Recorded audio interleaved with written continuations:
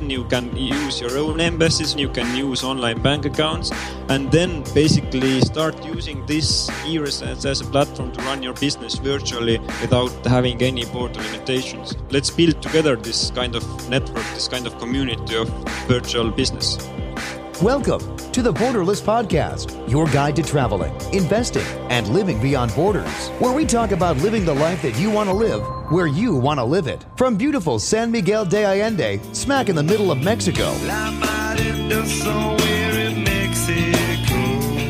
With your hosts, Jonathan Lockwood and James Guzman. Welcome to the Borderless Podcast, traveling, investing, and living beyond borders. This is that podcast where we talk about living outside of the box, living outside your borders, be they international, be they psychological. And uh, my name is Jonathan Lockwood. I'm here with James Guzman. Hey, James. Hey, hey, how's it going? We come from, uh, well, we both come from the United States, but today right. we're coming from our new home, which is San Miguel de Allende That's in, right. in the uh, high desert of, of central Mexico. Mm-hmm. Today's Borderless podcast, we're going to be talking about this new Estonia e residency program. I'm particularly interested in this myself. And uh, so the guy who seems to be spearheading this, his name is Kasper Korjus. He is the director of the Estonia e residency program. He is a 27 year old Estonian. He received his higher education in the UK in e business and innovation and returned to Estonia in 2011 through the Estonian president's supported program Talents Return Home. Today, Casper is the director of the e residency program and leading a team of seven people in the first ever Estonian government startup. Welcome, Kasper Korjus.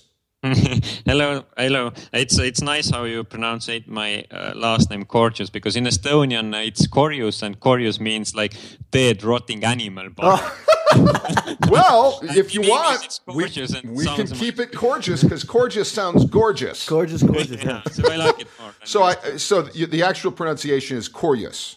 Korjus, yeah. Dead, rotting animal flesh. Okay. Gorgeous, man. I'm, I'm happy with that. okay, very good.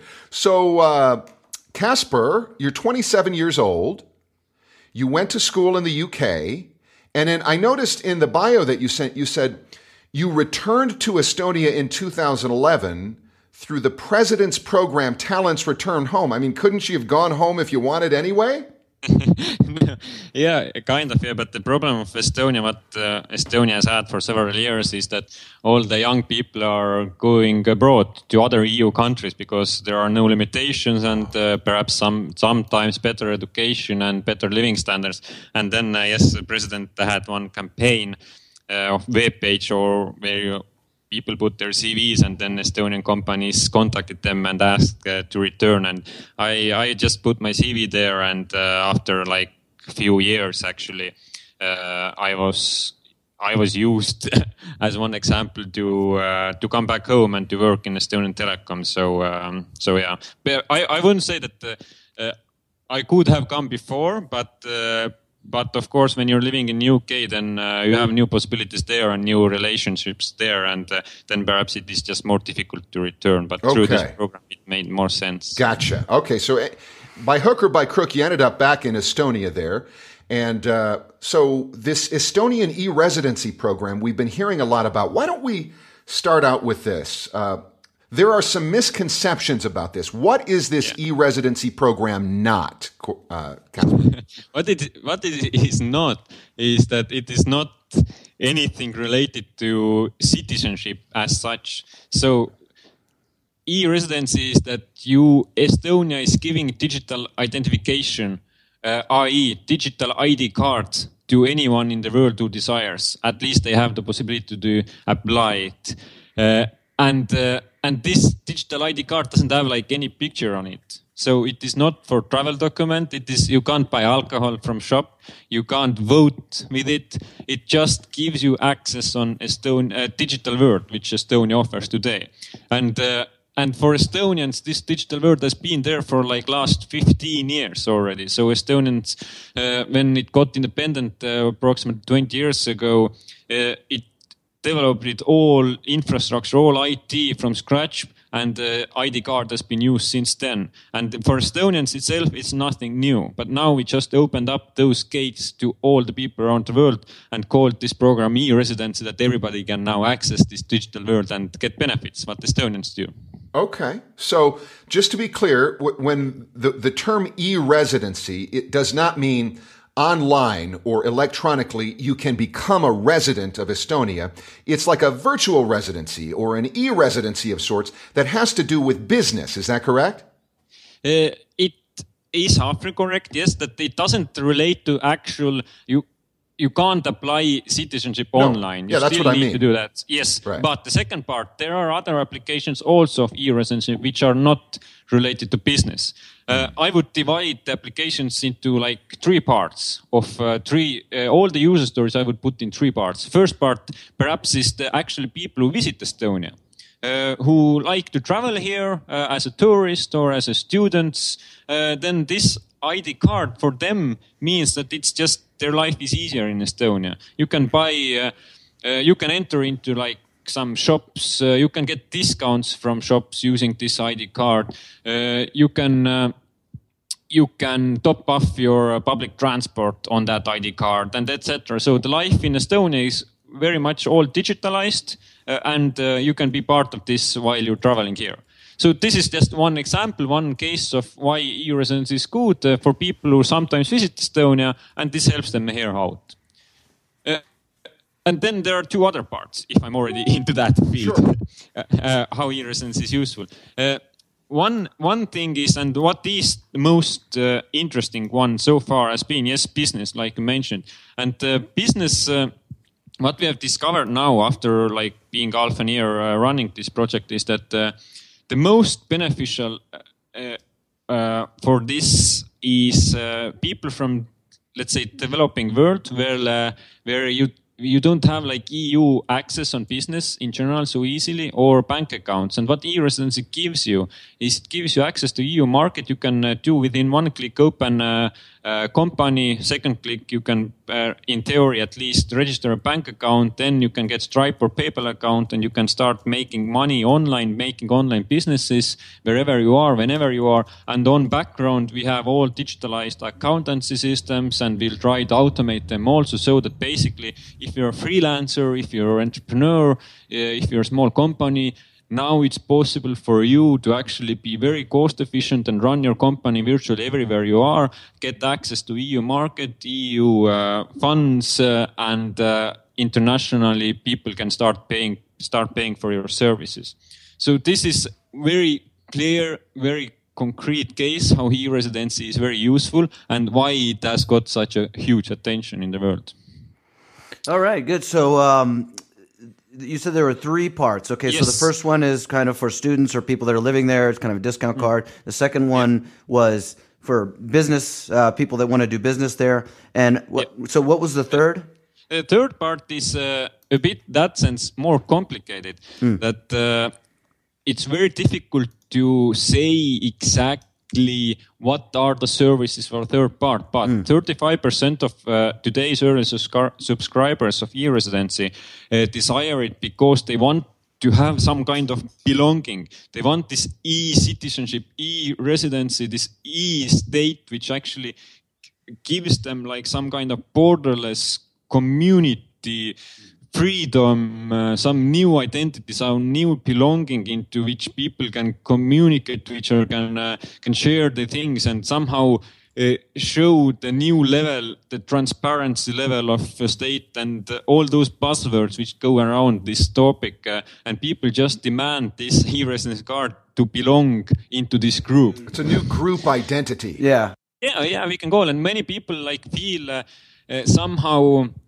because of their own local governments, bureaucrats, and all the like, let's say, negative things what's going on and mm-hmm. limitations and uh, and then it's kind of giving the new identity that i don't need today to belong to my own country only anymore i can choose which countries i belong to yeah. and uh, this makes them somehow feel free feel better yeah well let me ask you a question you know I, the first time that i heard about this e-residency i read it in an article and the article was uh, entitled something like, Is this the end of the nation state?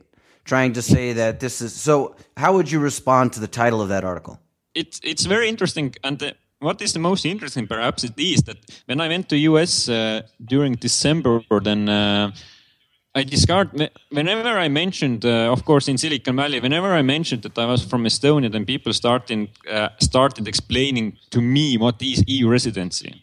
I was in Uber, I was in restaurants and bar. People knew about e-residency. They were telling me what is e-residency, and this was fascinating because the term e-residency has has made people actually think somehow bigger, somehow uh, physiologically, so, sociologically, in other ways which normally we don't think perhaps so much. And uh, that is the cool thing. And if you ask uh, about the end of nation mm-hmm. state, then uh, definitely I would say that uh, this is a good way how we can start conversations, what it could be in future and how we should live in the future and what e-residency can be here. Today, e-residency is so early beta concept that we can't say that what it is or what it isn't because it's just a startup which we try to make something to happen. Okay. Well, I'm guessing that what we will probably be focusing on primarily is item number two.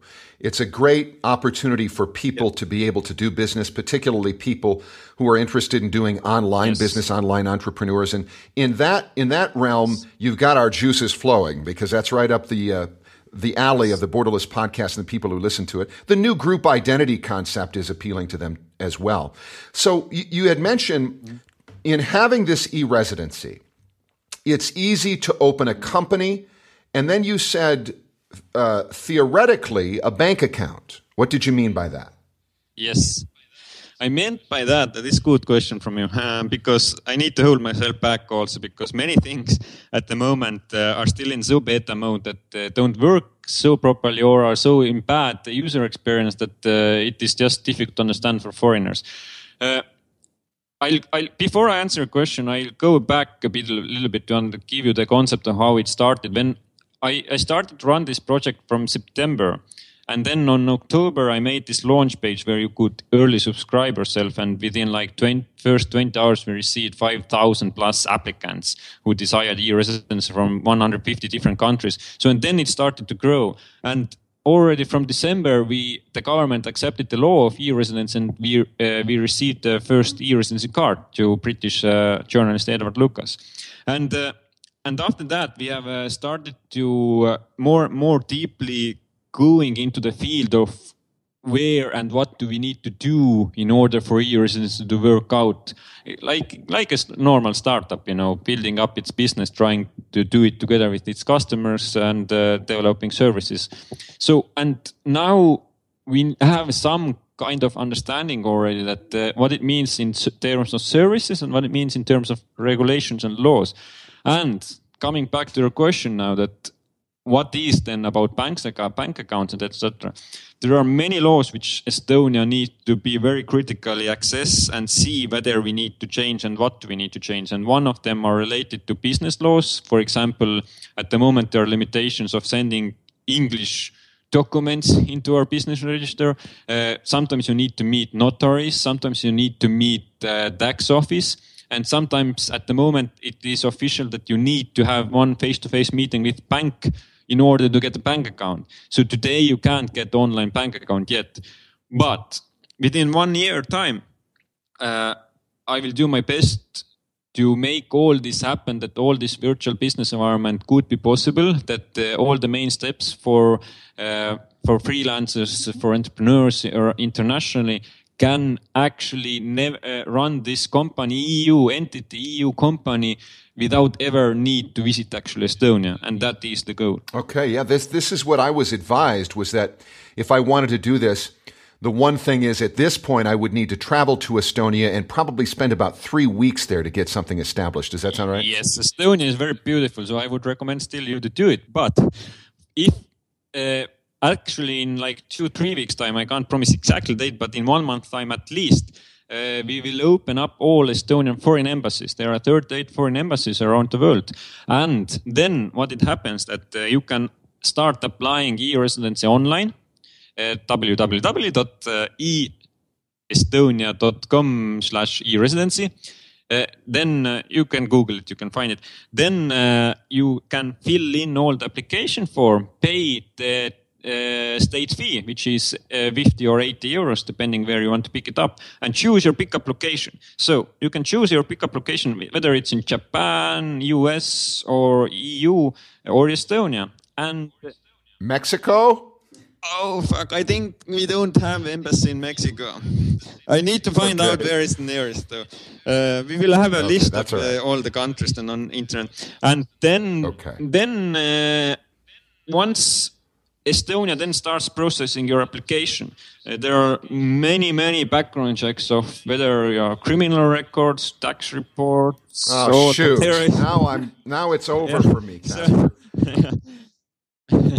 so uh, if those uh, give you red, uh, let's say green light that everything is positive, then uh, you will receive an email. Well done, congratulations! You can now become an e-resident. Come pick up your card, and then you have a face-to-face meeting in Estonian Foreign Embassy where you give your fingertips and you authenticate yourself with your local passport. And then the face-to-face meeting is held uh, very strong, and uh, and then you receive your card, which actually starts working in a couple of days' time. So then you don't need to visit Estonia twice anymore, and uh, it's a little bit easier. Okay, well, I mean, you know, we we were kind of joking about that, the background check thing, but uh, what are some of the things that might disqualify somebody from this e-residency program? Uh, this is officially even I don't know that. Okay, Uh, all right. Because uh, those is this is like secret police things, and uh, all the police from different uh, governments are working together to find to fight against terrorism and all that. So they have their own databases, their own checks. What I know is that uh, this is as serious background check as if you desire Estonian real citizenship. So, and for getting citizenship, there are many different things, and basically they're using the same databases. Okay. So you, you can open a business, you can open a company. Are you able to share with us what the different types of companies are? What are their legal designations? Do you know? I I can share a little bit uh, as far as my knowledge goes. Is that uh, basically you can have like uh, main thing is osaühing in Estonian, which means uh, private limited company. Right. and uh, it's just it's the same as in UK. And then you have a limited company, which is uh, which is uh, where you have shareholders, and it's for a bigger corporation. Then you need bigger amount of money also. But to open up a normal osaühing, a private limited company, uh, then uh, it's it just takes approximately 15 minutes on internet to do it, and it's fairly easy. Yeah, and so the, uh, I suppose if you're uh, opening up a corporation, you also need a uh, Estonian bank account to go along with it. Uh, you can open up a company uh, without actually having a bank account. You can have some kind of uh, limited version of that, but then it lasts, for example, something like six months, and you still at the moment yeah need to visit Estonia to get this. But you can pay this uh, small fee, some some kind of something, uh, 20, 30 euros, uh, to uh, using uh, also credit cards, also like uh, bank transfers. So you don't need to open up at you don't need. But of course, if you want uh, VAT number, for example, also and bank account, then at the moment you need to visit Estonia anyway. So it is not the most hassle free at the moment. And uh, we'll try to keep this communication as clear as possible, although we can't control media and media is uh, quite optimistic and telling all the stories. But currently, we just opened up applications to start working together with our end users, with our clients, with you, to know where do we need to go, uh, what services we need to tell, what laws we need to change. So we are taking it very step by step. Okay. Uh, you know, it, it sounds like uh, this kind of just opens you up to the Estonian market. Um, do you think that you'll be able to use this e-residency in order to open up a bank account in uh, different countries, say Hong Kong, for instance? Yes, and and this is very good question actually, and um, to understand those companies win who understand that e-residency is nothing more than a platform which Est- Estonia enables for you to build up your own services on top of that. And I'll bring some examples. I'll bring two examples. One, just yesterday I met one company who is offering um, some certificates for sea engineers, and they are they have like I don't know training sessions in London where you need to travel and be there two weeks and then travel back home, and company pays loads amount of money for them. So what they can do now is they will open up an online training system where you can they will do e-resident integration. That means that if you want this certificate. Now you make yourself an e-resident. You authenticate yourself on that online service and you'll do all online tests and then you get certificate which is digitally signed both by you and by the authority. And that means that you never ever have to go to this London conference for two weeks and stay in the hotels anymore because you can do everything online. And why it's possible? It's possible because first time ever, it's government issued digital identity. Not that you log in using your Facebook or LinkedIn, but using your government identity. And this needs to be by law, at least in EU, accepted by all the member states. And this is very strong case because now we can speak that all the services can start moving to digital world. This is one example. I'll bring you a second example. In US, I also visited company Stripe, which is online payment service provider. So if you want to build a website, e-shop, selling some paintings, uh, whatever you want to sell there, you want to start asking money. And people, if they want to pay you, you need to have this service provider integration, whether it's PayPal or Stripe. At the moment, Stripe, there are millions of people who want to use Stripe around the world, but they can't because uh, Stripe needs to go to individually every country to uh, to do background checks and integrations to their local banks and everything to have face-to-face meetings even sometimes. What they do now is that they will tell you if you're e- make yourself as an e-resident and you can start using from day one, i.e they are outsourcing the face-to-face meetings. They are doing only integration with one Estonian bank, and basically they can scale up around the world without actually needing to make specific integrations country by country. And this is tremendous for them. And those cases when companies start now to understand that, wow, that e-residency, I will make this integration on my own services and uh, I will tell my customers to become e-resident. And then it scales up and then actual benefits come out. We're talking with Kasper Korjus, director of the Estonia e-residency program on the Borderless podcast. This is something people have been talking about a lot for several months now, and it's very exciting, probably very exciting to a lot of our listeners. We want to take just a minute here uh, to remind you that you are able to get involved in the Borderless podcast conversation. If you go to borderlesspodcast.com, click on the Join Now button. After doing that, you'll get access to our Facebook page and what else, James? And you, you'll get an ebook that will uh, help you. You know, if you're if you're thinking about living a, a borderless lifestyle, you know, then we've got some material on there for free, and also the online uh, group and people like uh, Kasper on there that can help you get started. So if you if you enjoy um, you know this type of material, just you know sign up for the mailing list. There. Right, and you know we appreciate it. Lately, the last few weeks especially, I've been getting a lot of uh, private messages. From people saying they're really enjoying the podcast. So we appreciate that. Keep it up. Mm-hmm. And uh, the other thing you can do, of course, is uh, go to iTunes and uh, rate, review, and subscribe. We certainly appreciate that. This week's Borderless podcast is brought to you by the Condescending Group, your online leader in promoting unwarranted self confidence. You know, our friends at the Condescending Group are doing a week long feature on meditation for their site. It's a shocking collection of feel good gurus from around the world, but the one that's getting a lot of attention is the guy who sort of turns meditation on its head. You see, instead of focusing on yourself in meditation, he encourages you to focus on other people. He says if you can really, really empty yourself and stop being judgmental about yourself, then it's a great opportunity to focus on the faults of other people, and that always makes you feel good, especially if you have little to no basis for self esteem.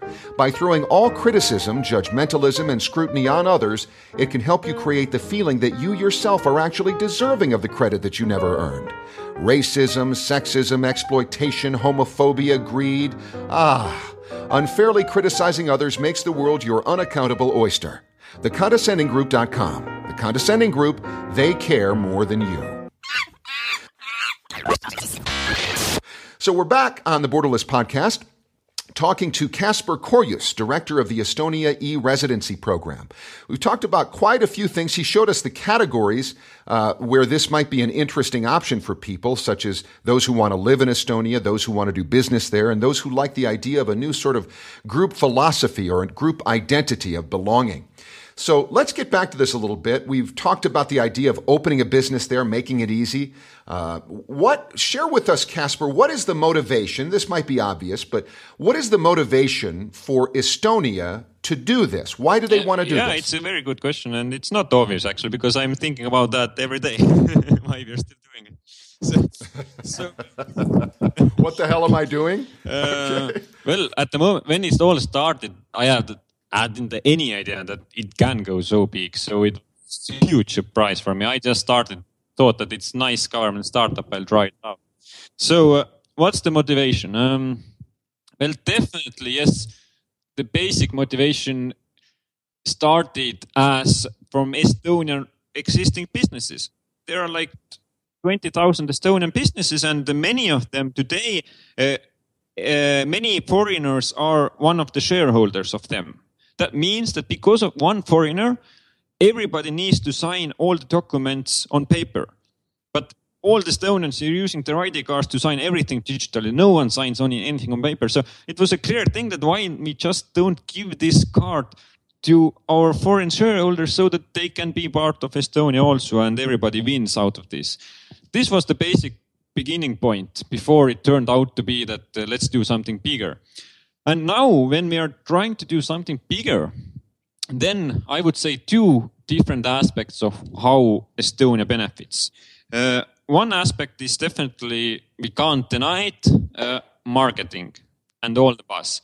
Because uh, eventually it does matter. It does matter about foreign investments. It does matter about reputation. And uh, this e-residency, we haven't put any marketing costs, so zero budget at all. It's just about Facebook likes, tweets, uh, articles. So, and uh, it's nice way how one little country can actually make themselves appear.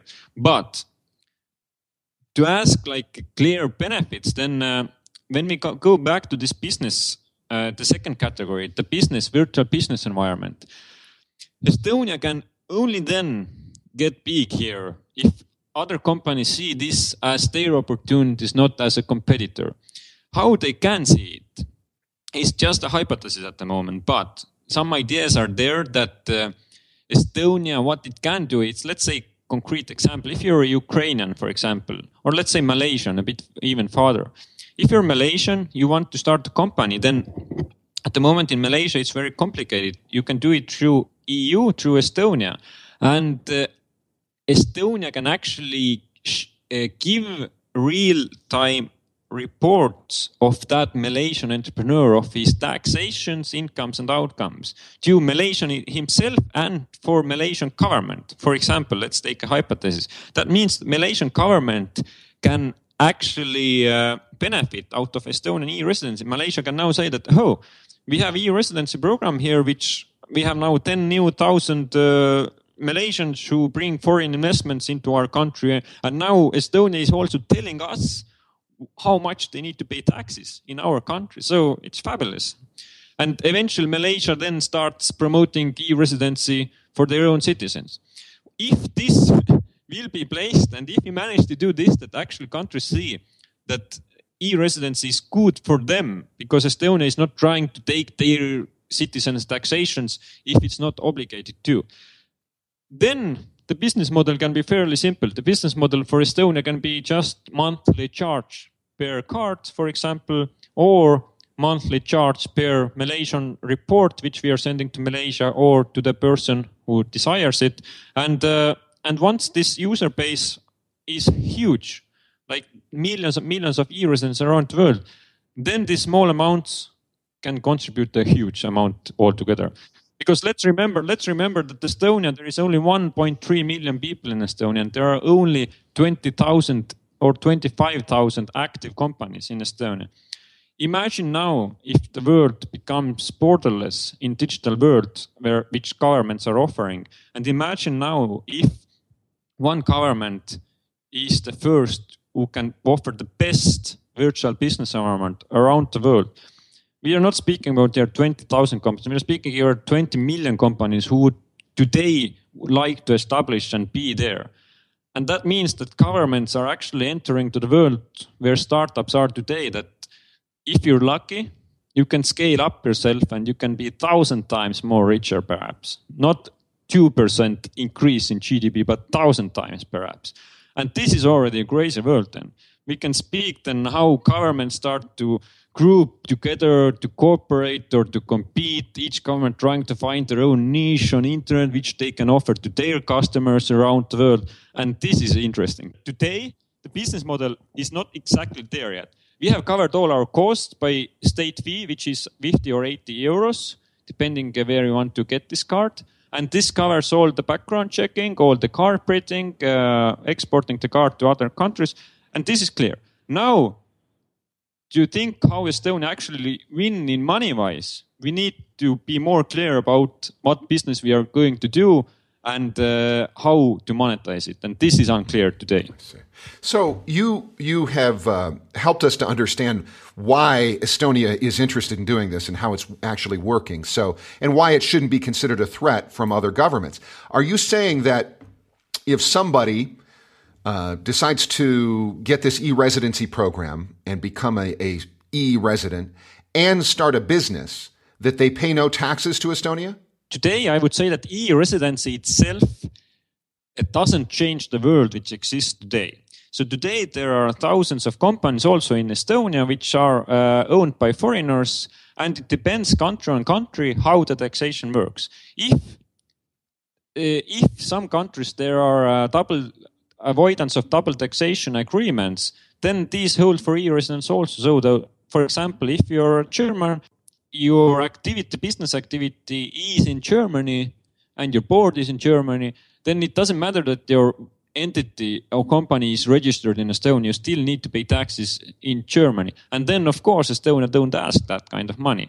So it depends on country specifics, which countries have which relationship to EU and to Estonia and uh, it depends on the agreements. Yes, but what I perhaps is important for Estonia also now to understand to to make this clear to everybody that uh, our purpose is not to start collecting other governments' tax money. This would be very short term run for e-residents, and after five years we would be closed most probably. But we need to find out how to automate that, how to make it clear and uh, easy for everybody to understand where they need to pay taxes and how much to. And uh, this is definitely one area which we need to improve. Yes, of course. So I obviously, uh, you know, my I'm, I'm, a citizen of the United States, so. I, I wouldn't think that somehow in creating a business in Estonia that that would mean I no longer have any tax obligation to the United States. What I'm asking is, in addition to that, would there also be a tax obligation to Estonia? It again depends on countries. Uh, if Estonia and EU, US have good relation, which they are, then uh, there is double taxation avoidance that you don't need to pay on both countries. Okay, gotcha. I had also heard something about there being, and I don't, maybe you don't know about this. I know you don't know about a lot of the, the specifics, but yeah. are you familiar with a social security agreement between Estonia and the United States or no? No.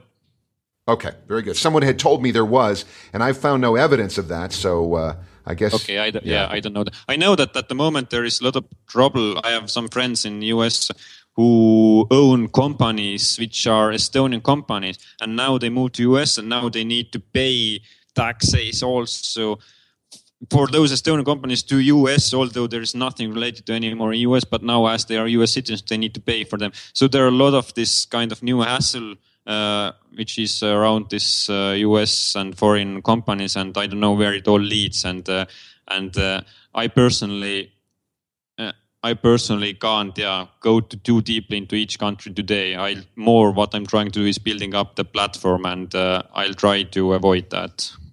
Yeah, the the bit of information that I had gotten on that, and I'm going to preface this by yeah. saying I've found no confirmation on it. It's just it came from a past borderless okay uh, podcast uh, uh, interviewee who seems to really know what she's talking about about these subjects. She had told me that there was a social security uh, agreement between the U.S. and Estonia, such that while, for instance, a lot of Americans might set up a company in a foreign district, they're still responsible for paying you know, uh, quite a quite a lot of money every year toward their Social Security and their Medicare and these various government uh, programs. Yeah, yeah. But that there was, she had told me that there was a relationship between the US and Estonia that said that you don't need to do that, and uh, basically that the U.S. had an agreement saying whatever Estonia's social security program was is okay, therefore you don't have to pay them anymore, which is fantastic for Americans. Uh, but Estonia's claim is that, yeah, but if you don't live here, you don't have to pay into it. That just didn't sound right to me, and I found no confirmation Yeah, of that. So, yeah. anyway, Yeah. If you have more information, you can just send it to me, and I can try to find out. Also, I I, I don't know either about this. Uh, are, is there any problem with uh, Americans open bank accounts there? I've, I've had some people to ask me that. Um, I guess they feel like uh, a lot of places throughout the world, because of FATCA and stuff like this, they don't really want to deal with Americans. Is is that a problem in Estonia? Uh, there is definitely some cases uh, because of the new laws and regulations that some Estonian banks don't want to deal anymore with Americans mm-hmm. because America is asking so huge amount of paperwork and reporting to every you every client which they have, and eventually it just doesn't pay off. So what I can I can tell is definitely there are banks in Estonia which allow to do all that, and once we make regulations easier for them to do online, then of course it will be even more easier. But as a government, which at the moment I'm working for, uh, we can't go so far into the private sector and start telling what and whom the clients can or should be. It's up to every bank themselves to decide whether I give you this account or if I don't want to give you this account. And that's why I, we as e-resident team also can't promise anyone that yes, if you want to access EU, then definitely you will get all the accounts because it is still bank's decision whether he, sees that you're trustworthy or not. Yeah, as well it should be. But uh, yeah, that's you know that's the problem. You know, with all these um, these new laws that have, you know they're passing in the United States, and it's it's make a lot of people don't realize that in the United States that they're really uh, becoming like financial refugees because people just don't want to deal with them anymore because the you know the the government wants all these very complicated forms and most of them are in English and uh, it's just it just doesn't make sense. So. Yeah, yeah. Kasper, can, can you speak to us about the banking system in Estonia? I had also heard that it's much better capitalized than the banks in most countries. Are you able to share with us anything about that?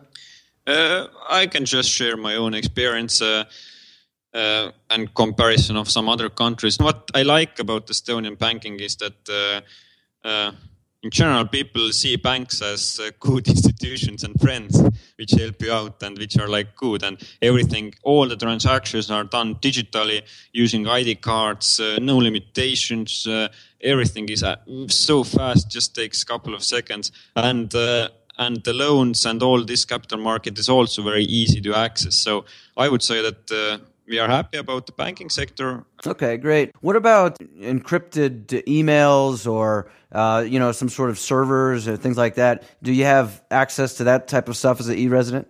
Yes, uh, the basic technology behind e-residency, DigiID card, digital ID identification card, there are threefold. First is authentication. There you have PIN number. A four-digit PIN number, you enter a card on your computer, and then you're asked PIN number, uh, which is minimum four, maximum 16.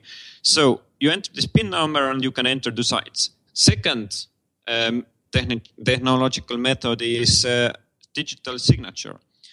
That means that there is minimum five digit number, pin two, which you enter the same way. And if you do that, then this paper is digitally signed. You can sign any documents, uh, and it is as valid digital signature as physical digital signature.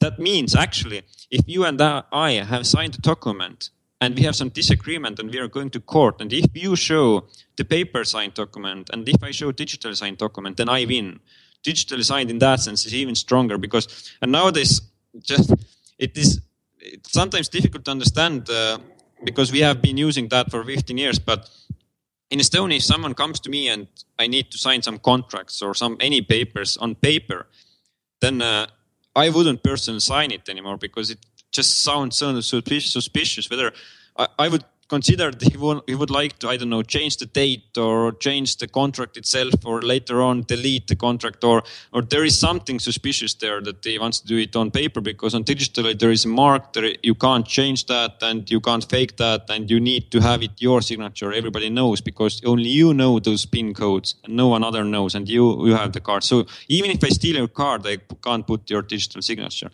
So, and the third application is uh, like you said, sending encrypted files. And uh, this is the same way using your PIN two number. I will need to put your personal identification code uh, and send some some uh, some uh, encrypt some file, and only you with your ID card can decrypt it, and only you can see the uh, see the content then. Okay, great. Now it sounds like Estonia is trying to establish itself as you know this innovator in in the internet and uh, e-business. Um, what are some other businesses that you have going on there? At the moment, for example, we had elections uh, two weeks ago, and uh, I was uh, then uh, in uh, I think in Netherlands, and uh, I elected in Netherlands. So we have online voting, and from last elections there were more than 116 countries, different countries where people, Estonians elected their parliament. So this is quite important and cool already to understand, especially when you consider your broad podcast that uh, Estonians are around the world, but they are still Estonians and they are taking part of Estonians even elections from 116 different countries. So other thing which I not, just now used uh, last week was uh, declaring my personal taxes. So in Estonia there is minimum the minimum wage that you don't need to pay tax and you can get your money back. So I declared taxes. It took me just I I I, I tried to uh, see how long it took. It took me just 27 seconds to declare my tax, and after two days, uh, I got my taxes wow. back.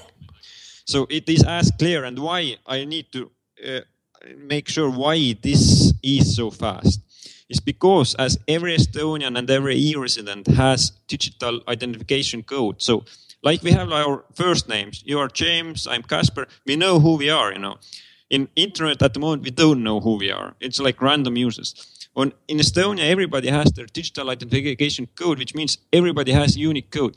And now all the private and public sector can start use, making uh, services for them. And why declaring taxes takes me 27 seconds is that all my uh, salaries, my pension funds, uh, my scholarships, uh, my bank loans, everything is shared for the tax agency using my digital identification code and it automatically uh, uh, calculates how much taxes I need to pay or get back. That's why it just give me, gives me the full report and I just need to sign it and that's all. Okay, well, I was kind of more talking about the different companies that you have going. on. I mean, Skype's out of uh, Estonia. What other companies do you have going on there? Uh, yes, at the moment, uh, one uh, very important one is TransferWise. Uh, TransferWise, yeah, I heard about yes, this. Yes, it promotes at least to kill the banking sector. It makes very uh, easy way how you can exchange currencies and uh, very clearly uh, monetized and very cheaply. So if you have like Yes, I wanted I wanted to use that Kasper, but I noticed uh, they don't uh, they don't presently uh, work with the Mexican peso, so ah, I'll have to wait yeah, until that hopefully happens. soon. Uh, then uh, very nice other example is GrabCAD, which was just uh, bought out approximately one million euros, I think. and the GrabCAD is a community for engineers to share all the CAD designs and all the other like uh, graphical uh, engineering stuff uh, and to work together. So, and it's a community of if I'm not mistaken, over three million engineers, and it's very nice and nice, nice user Those, experience there. Uh, I'm sorry, G R A B. C R A B. Crabcat. Okay. Okay. Well, why don't you why don't you share with us also a little bit about Estonia? You'd started to talk about it. Tell us where Estonia is. Estonia is a very, very small country uh, in, we would like to call it Northern Europe, but actually we are in uh, Northeast Europe. Uh, so on right hand side we have Russia, uh, on top we have Finland, and uh, then on bottom we have uh, other Baltic states, Latvia, Lithuania, and Poland. So we are a northern country. We have 1.3 million people, 1 million them Estonians, 20% of Russians. Uh, then our national language is Estonian. We have loads of forest in Estonia, uh, lots of like nice sightseeings, and our capital is Tallinn, and one third of people are living in capital, and uh, and uh, it's a country of digital forest. it likes to call itself. So it's uh, it's all digitalized for years and years. How it all started. Uh, all Estonia has full access to Wi-Fi, and there are everywhere is free Wi-Fi when you're in a bus or in airport or wherever you are. Uh, 4G everywhere, and next year will be first to be in the world of 5G network covered. So it, yeah, it tries and it has somehow managed to make some kind of this digital government and digital society uh, brand which it's living and uh, embracing and uh, and that's cool. And uh, and for me it's also quite new thing because uh, estonians as i said i've been using two services for years which i also something mentioned. And then uh, it for us it was just everyday normal life. And what e-residency has done e-residency has made all our estonians like make aware that this is actually not standard around the world what we are doing. Yeah, that this is right. something like yeah. different. And uh, of course we knew that, but after this bus, we start to really understand that wow, yeah, that actually this is quite great and quite innovative. It's not standard what you're doing here. You know, it, as far as I'm concerned, I am not one to promote the concept of government whatsoever, but you know, we got to give credit where credit is due. At least at this particular time, I'm reading that Estonia's government is solvent. They have not issued any kind of sovereign debt in years. They balance their budget.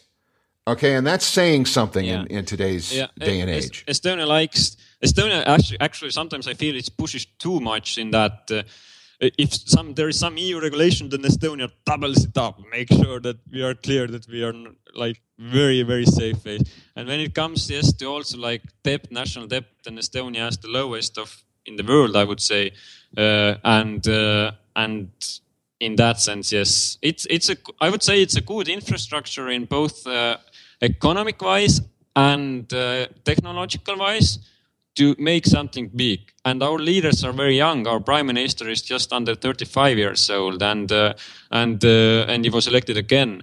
And and I'm 27, and it's it's not so like it's quite normal that people are actually young in Estonia. New generation has come here, and uh, and this makes things faster and things more like by default normal to have fully digitalized and fully like innovation everywhere. Innovation built in by day one. So in that sense uh, yes i would say it's good but of course there are many many parts. Estonia has been independent for just very little time and there are also like uh, very negative sides of still like the poverty is still there many many families are living in poverty and uh, and uh, then different cultural Estonians, I would say that culturally perhaps are not the strongest. Uh, many of them still uh, don't are not so tolerable of different nations and cultures, and uh, this is definitely when when coming from UK also, which disturbs me personally, that uh, people need to be more friendly.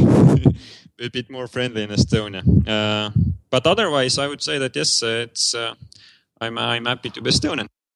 Uh, for other EU citizens, if somebody is already EU citizen, what would be the benefits of them getting an e-residency? Well, EU is a very interesting case, and uh, because especially considering that e-IDAS is one directive which EU starts accepting in two years' time. e-IDAS means that uh, uh, all the EU national states need to start accepting uh, strong authentication and digital signature met methods. So that means also that they need to start accepting e-residents everything what they do because they are also Estonian digitally signed. And this makes interesting, this case very interesting in that sense that uh, we don't know how it all ends up, and whether some other EU states desire e-residency and using this as their platform. Or, as I said before, they see as a competitor and they don't want to accept those. So it, it's it's very unclear and we will see how it ends up. But what's sure today is that today already people benefit out of this e-residence card. I just now last week i had one german and austrian companies visiting us just to get e-residency card because today you need to travel to estonia. Uh, because uh, they have they have loads of documents which they need to sign every day. They're sending packages and then there's documents front and back and everything. And, and there are different shareholders which they need to send around the world. And they are making themselves, all of them, digital ID card just for signing purposes because they, two companies accept that we accept this as official signing method. And now they don't need to send paper documents and they are sending documents to each other and signing. So it is nothing related to Estonia. They're using this as a platform to enhance their business. So coming back to the question, what the EU countries win is it's up to them whether they see this as opportunity to use this and leverage these services or they are fighting against and not allowing their people there and not allowing services. So we will see how it all ends up. I see. We've got a we've got a question that we like to ask people. Kasper, James, you want to ask that? Sure. Yeah. So um, if you're talking to a younger version of yourself that's thinking about uh, being entrepreneurial or uh, you know getting out there and making some changes in the world, what's the best piece of advice that you would give? Best piece of advice today would be to subscribe yourself as an early subscriber of e-residence in our webpage. Just leave the email there, and I will keep keep you up to date of when our processes uh, are updated, when you can use your own embassies, when you can use online bank accounts, and then basically start using this e-residence as a platform to run your business virtually without having any border limitations.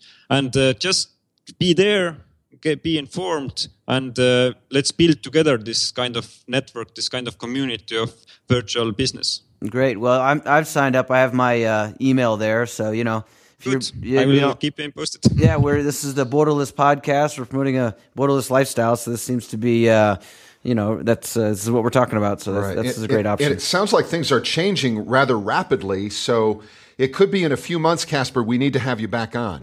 yeah, it to is. find out.